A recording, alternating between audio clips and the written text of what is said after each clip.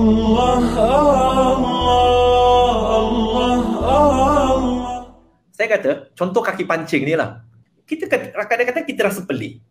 Lah, kau nak pergi memancing buat apa? Ikan apa kau nak? Pergilah je pasar beli. Apa susah-susah kan? Beli je lah. Tapi bagi kaki pancing, bukan pasal macam tadi Tuan Kamal sebut. Is the process tu yang mereka enjoy.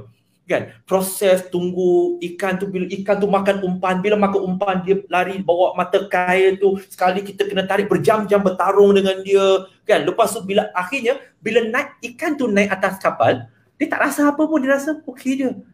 Macam trofi lah bagi sebab tu ramai kan Yes, you're right. Exactly. kaki pancing, sampai kaki pancing, lepas dia orang dapat ikan besar, dia bergambar, lepaskan balik. Yes. Dia bukan makan pun. Ah, Jadi saya kata, sama tak tuan? Sama tak bila saya kaitkan ni dengan contoh uh, predator seksual ataupun jenayah seksual ni? Kadang kalau orang yang melakukan uh, jenayah seksual ni bukan dia tak mampu, kita kata dia ada isteri. Kalau kata paling teruk lah dosa dalam Islam. Teruk-teruk, melanggar pelacur je lah. Pelacur, kita I- kata I like- walaupun haram. question.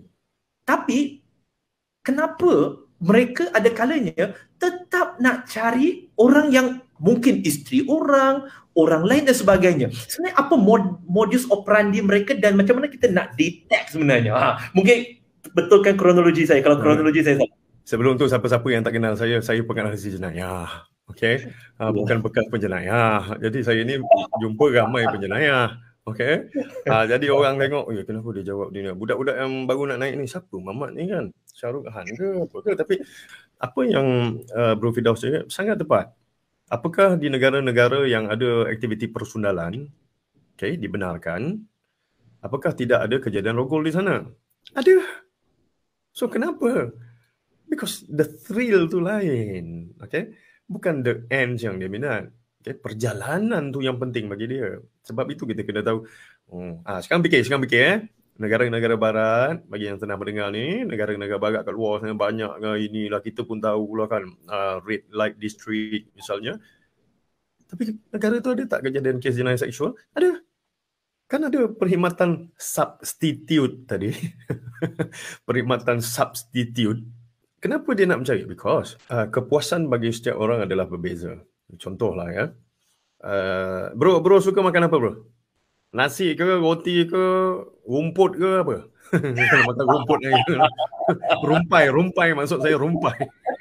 Saya suka makan rumpai, rumpai laut. Okay. Katalah eh, diet bro hari-hari adalah rumpai laut. Tetapi uh, kali ini tak ada rumpai laut, ya, PKP 1.0 tu yang ada paku pakis. Makan makan. Mengenyangkan mengenyangkan. Betul-betul eh, kenyang juga. Tapi puas tak? Tak.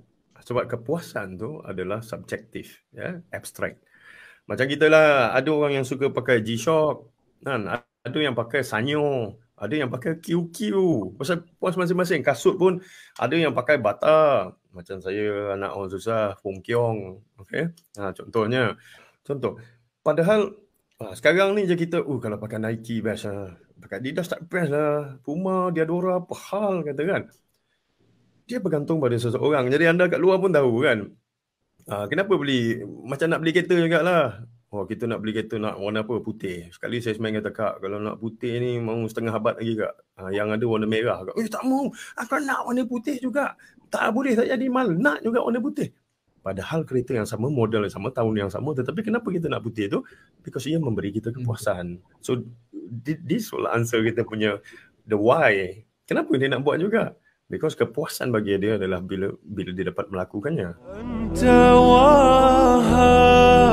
atai